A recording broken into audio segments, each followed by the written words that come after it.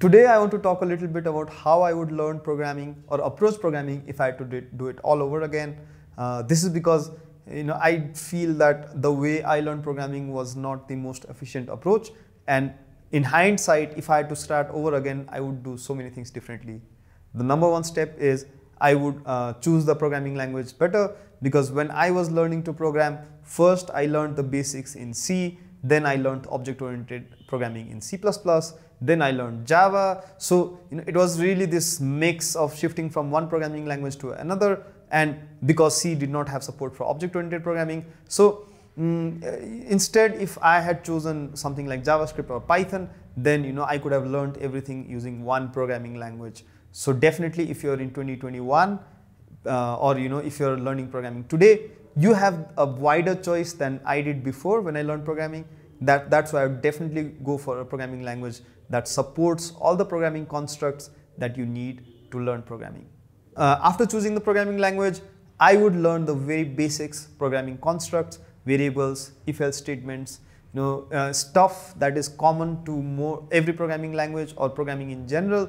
Instead of focusing on you know learning the same things in different programming languages i would master all these concepts in one programming language be it python or javascript or java or c sharp. Any high level programming language will do. Then i would also solve five or six problems for each programming language. Now uh, i don't know how it is elsewhere but but in india there's a certain obsession with a certain type of programs like uh, programs that generate uh, pyramids of stars or you know so there's this whole uh, too much time spent on few things. Instead i would not solve you know more than five or six problems of one category say if else five or six problems for loops five or six problems uh, exception handling or file handling five or six problems. And then i would learn how to mix and match all these concepts to create small projects and not really get stuck with the same kind of problems again and again and again.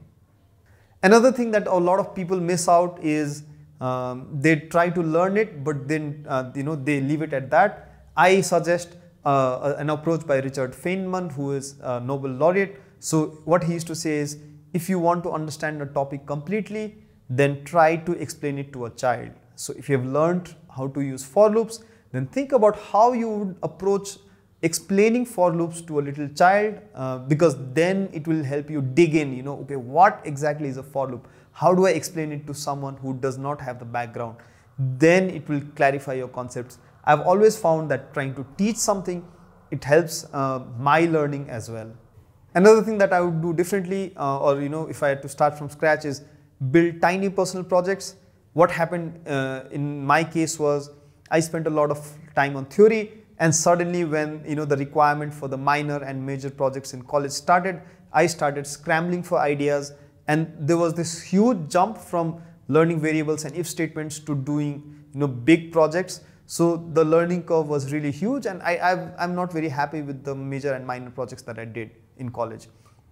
Now, uh, if I had to do that differently, then I would build small projects like a tic-tac-toe game or you know a to-do list while I'm learning these variables and uh, for loops. So I would go projects and learning in tandem this time so that when I build those bigger projects, if I'm interested in machine learning, then I should have learned uh, you know, uh, libraries like SciPy or NumPy before. I would also do a lot of experimentation. So maybe, you know, uh, two or three months I would try competitive programming, two or three months I would try web development using uh, Django and Flask.